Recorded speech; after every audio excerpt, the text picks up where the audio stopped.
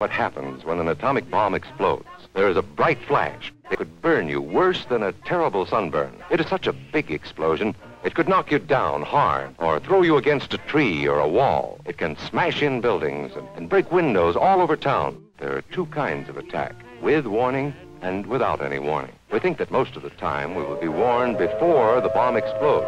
That signal means to stop whatever you are doing and get to the nearest safe place fast.